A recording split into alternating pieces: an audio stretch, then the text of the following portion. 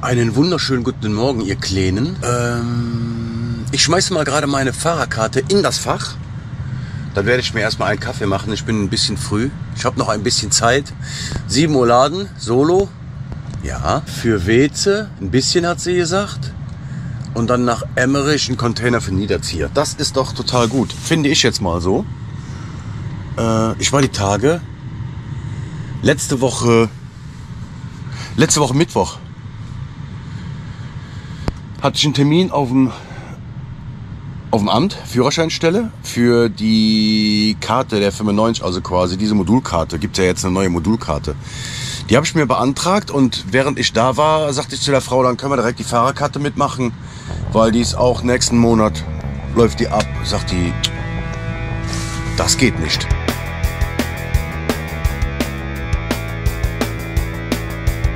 Sie haben einen Termin gemacht für die Modulkarte und die Fahrerkarte, da müssen Sie einen neuen Termin machen.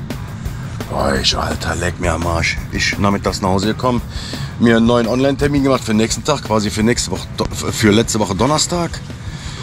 Äh, ich dahin gefahren. Also Mittwoch war ich Schalter 15, Donnerstag war ich Schalter 13. Und die Frau an Schalter 13 sagte, Sie waren doch gestern schon da. Warum haben Sie denn die Fahrerkarte nicht direkt mitgemacht? Hab ich ihr das erklärt, hat die gesagt, okay, Sie brauchen gar nicht weiterreden. Sie weiß Bescheid, hat sich dann bei jemand anders noch über diese Dame beschwert, beschwert, wo ich dann am Mittwoch war. Und die sagte, natürlich wären die Fahrerkarten mitgemacht. Das sind gerade mal zwei Minuten, äh, die wir dafür brauchen. Ja, ich denke mal, die eine Dame, mit der ich am Mittwoch zu tun hatte, die hat eine Ansage bekommen. Gehe ich mal von aus. Weil das ist schon ein bisschen doof. Aber ich habe alles gemanagt. Die Fahrerkarte, die ich mir am Donnerstag beantragt habe, die war schon im Postkasten. Die sagte, das dauert zwei Tage und ich hatte die nach, warte, Freitag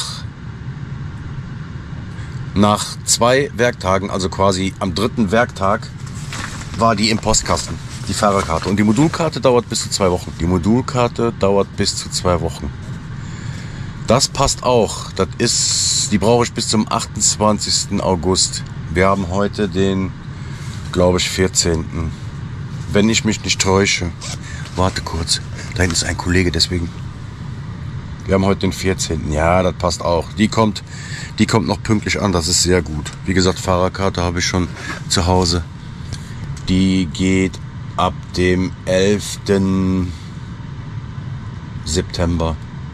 August, September, 11. September. Die soll ich noch am 10. nehmen und die andere ab dem 11. Dann ist alles wunderbar. Und die andere muss ich dann noch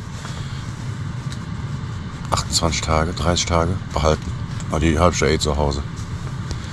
Das ist ja wunderbar. So, ich bin ein bisschen träge. Das ist einfach, weil im Moment ist es sehr warm. Äh, da kann man nicht allzu gut schlafen. Ich bin seit 2 Uhr wach seit 2 Uhr und war noch ein bisschen auf meinem Home-Trainer, auf dem Spinning-Bike, aber quasi nur 30 Minuten hatte ich schon keinen Bock mehr, weil es irgendwie so warm war. Ich habe geschwitzt wie so ein Tier. Ja, und dann bin ich ein wenig duschen gegangen, habe meine Schulbrote gemacht. Ach so, da passt ja nicht. Ich habe einen neuen Rucksack hier und der passt nicht mehr hier rein, der ist etwas hoch. Habe ich meine Schulbrote gemacht und bin jetzt hier auf der Arbeit. Jetzt mache ich mir einen Kaffee und dann fahre ich solo, wie gesagt, zum Kunden. Und dann fahren wir mal los und gucken, was der Tag so bringt. Ich habe gedacht, heute ist es bestimmt etwas kühler, aber heute früh ist es noch wärmer wie gestern früh. Gestern war, glaube ich, gestern früh 20 Grad und heute 22. Aber wir tanken jetzt ein bisschen AdBlue. Da habe ich das auch schon mal gemacht.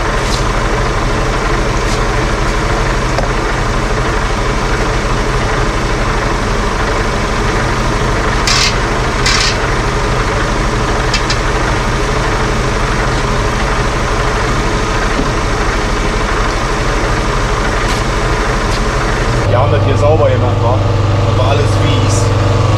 Oh, bitte wie schön. Jahre neu wohl. So, das erledigen wir, das fahren wir jetzt gleich rüber. Dann laden wir für Weze, wie gesagt. Und dann schauen wir mal, wie der Tag weitergeht. Wir sind gespannt. Wir sind dann mal auf dem Weg nach Weze. Ich habe hinten, keine Ahnung, 15 bis 20 Rohre gebündelt. Das war's. Und der eine Karton hier, der ist super leicht, da sind wahrscheinlich schon ein paar Muffen drin. Der wiegt ja nichts, deswegen habe ich den hier vorne reingetan. Der ist auch sauber. Normalerweise kriegt ihr nichts drin, aber wie soll ich den hinten sichern? Wird der neue Quetsch, wenn du den bindest, weißt du? Der wiegt nichts. Wir sind da um 8.47 Uhr. Ich habe mir bei den Rohren hinten direkt ähm, Bänder drum gemacht, falls ich die mit dem Kran ablade. Oder aber die machen dann mit dem Gabelstapler, dann mache ich die wieder ab. Das sehen wir dann da. WC, ich weiß gar nicht. Kenne ich den Kunden? Ich glaube nicht. Ist mal aber real. Machen wir da leer und dann fahren wir nach Emmerich. So wie ich das gelesen habe, dann äh, holen wir den Container. Der wiegt auch nicht, oder ich denke mal nicht, dass der voll ist. Oder ihr habt das falsche Gewicht aufgeschrieben. Ich glaube, da steht 170 Kilo drauf. 170 Kilo? Hä? Das kann ja nicht sein, ne, für einen Materialcontainer. Das geht ja nun mal nicht. 91 Kilometer, eine Stunde 14. Sagt mir das Navi.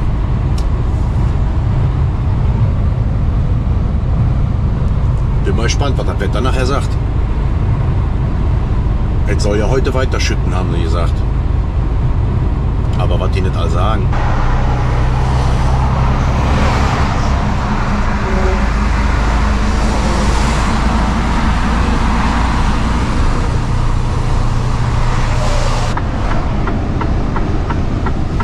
Da sind wir jetzt gleich schon da. Ich kann mich gar nicht erinnern, dass ich schon mal hier war. Das sagt mir jetzt eigentlich ja nicht hier. Aber das werden wir jetzt sehen. Links, rechts. Wir kicken jetzt mal. Da hängen wir wieder drin. So, wo haben wir den denn jetzt? Den Newton hier. Ist er direkt he? Wahrscheinlich nicht. Nee. Das ist nämlich hier auch nicht. Hier auch nicht.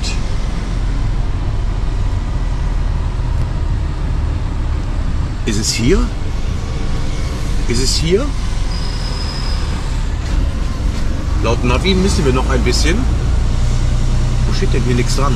Warum denn nicht? Könnten Sie mir das bitte er er erzählen? Mal. Das könnte es sein hier.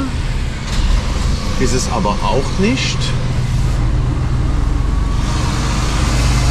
Dann müssen wir noch ein bisschen weiter. Ich war jetzt gerade was irritiert, weil da vorne ist direkt eine Baustelle. Das ist auch von denen. Aber ich sollte hier auf dem Hof die hier bei diesen, bei diesen Rohren hinlegen.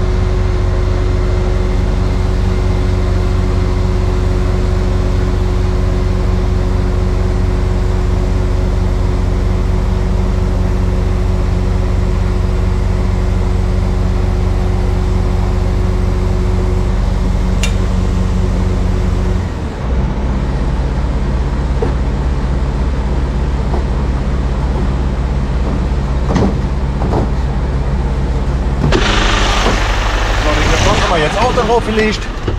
Und jetzt geht's weiter nach Emmerich. Emmerich, Emmerich. Ding. Habe ich gerade unterschreiben. Oh, Schluss. Ich muss doch auch noch, ja? Ja. Ach so. Ja, wo ist der? Das ist Empfänger. Und das ist Empfänger. Okay. Komisch gemacht. Aber egal. Ich gebe das jetzt mal ein und dann fahren wir mal gerade darüber. Fahren wir erstmal hier raus. Hier vorne vor der Tür, bei denen selbst, haben die auch eine Baustelle. Und für diese Baustelle sind die Rohre. Aber ich sollte die hier auf den Hof fahren. So holen die sich das hier weg, die paar Meter, und dann ist das schick, wa? Oh. Okay. Kannst du mich rauslassen, oder? Ich habe jetzt eben mit dem Mann telefoniert, wo ich den Container holen soll. Und der war total verwundert, weil ihm haben sie gesagt, ich komme erst Mittag. Aber mir sagen sie, ich soll morgens um 7 Uhr laden. War. Da bin ich ja nicht mittags da, wenn ich den WC noch leer mache, sondern da bin ich ja, da bin ich ja was für sich. Guck mal, ich bin jetzt da um 10 vor 10 oder Viertel vor 10. Der macht auf jeden Fall jetzt Attacke im Büro und dann kommt er darüber. Und ich habe eben Kacke gelabert. Ich habe ja gesagt, ich habe auf dem Schein stehen 170 Kilo. Ne, da steht 700 Kilo drauf.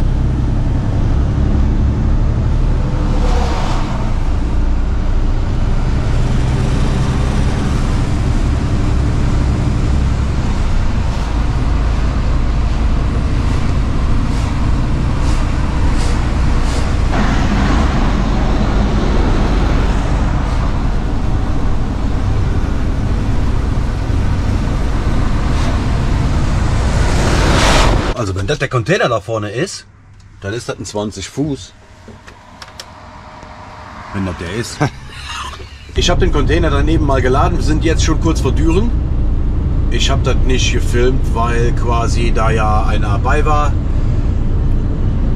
Ich habe dann neue Geschirr ausprobiert. Also ich habe da ein neues Vierergehänge bekommen mit extra Containerhaken. Ich bin jetzt nicht so davon überzeugt, aber es war schon okay. Also die sind extra dafür, aber naja, es geht so. Wir sind jetzt gleich auf jeden Fall da, noch neun Kilometer, dann sind wir da und dann schauen wir mal. Ich habe gerade eben versucht, den Thomas anzurufen, der da jetzt im Lager ist. Handy aus, wahrscheinlich weiß die Frau aus Bovila nicht, dass der vielleicht Urlaub hat, ich weiß es ja nicht. Das sehen wir jetzt gleich. Ich lasse mich überraschen, erstmal zum Pförtner. So, jetzt der Gang. Ja. Ja, das Licht.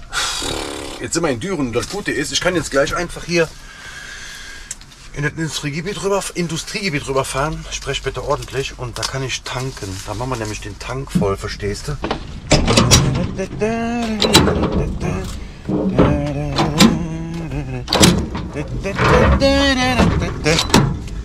Ja, Materialcontainer. Keiner sagt, dass das großer ist. Alles die Balken.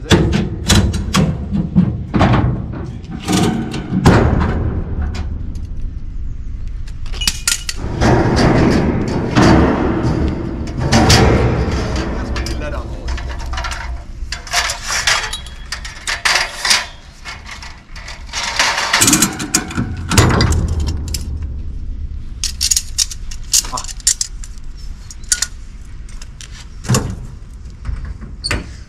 So, und jetzt gucken wir, dass das nicht hängen bleibt.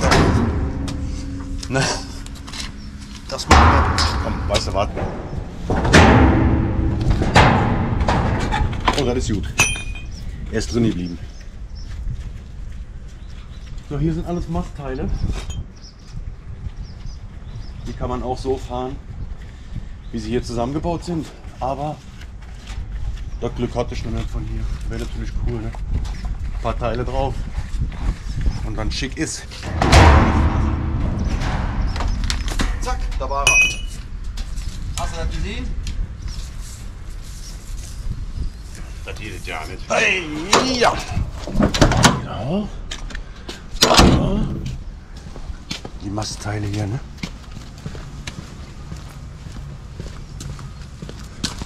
So,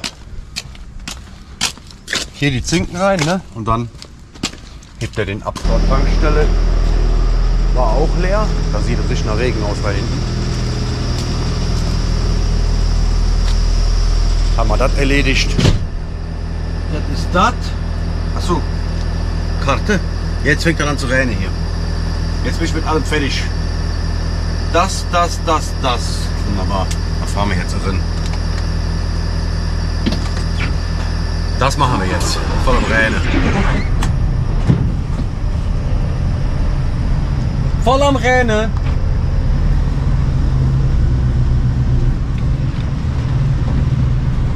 Boah, das ist so schmierig, ne? Leck mir am Arsch, ey. Meine Hände haben eine Dauerschwitzung, verstehst du? Ja, das ist auch geil. Hier ist die Zufahrt zum TÜV.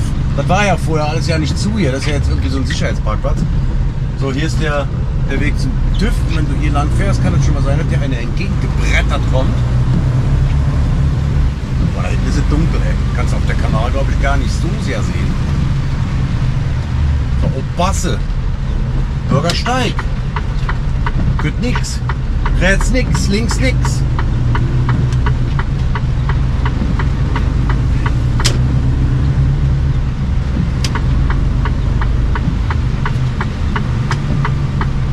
Der hat den Container eben nicht in die dafür vorgesehenen äh, Taschen einführen können, also die Gabeln, weil die nicht, das war zwar schon ein halbwegs großer Stapler, aber du kannst die Gabeln nicht so weit auseinanderschieben, sondern ist einfach die Kamera aus hier. Leck mich doch in den Tisch. Was war schon am Erzählen? Der konnte den, den äh, Container nicht normal abladen. Da unten sind ja so zwei Taschen für die Gabeln eingearbeitet im Container. Und, und aber, und aber Dirk, der konnte die Gabeln nicht so weit auseinanderfahren, dass der in die dafür vorgesehenen Taschen einfahren konnte. Jetzt hatten wir ja das Glück, dass ich die Container auf die Balken geladen habe und gegurtet habe. Das war ja das Glück, weil der ist dann unten runter gefahren und dann hat er den auf seinem Hof mit Kanthölzern geparkt. Auf Kanthölzern geparkt. Dann zum Plästern hier. Ich hoffe, ihr habt dann alles verstanden, was ich euch hier versucht zu erklären. Hier ist der Meer.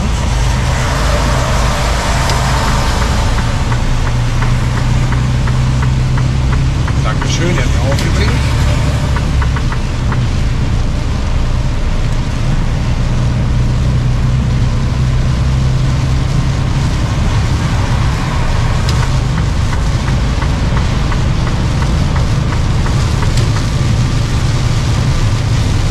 kein Überholverbot, deswegen können wir mal vorbei hier. Wir sind am Hof in, keine Ahnung, 20 Minuten oder so. 20 Minuten, 20 Minuten. Kann man einen Hänger noch schnell dran, wenn es nicht regnet, ansonsten mach ich immer ins Müll. Dann ist mir dann doch zu blöd. Ne?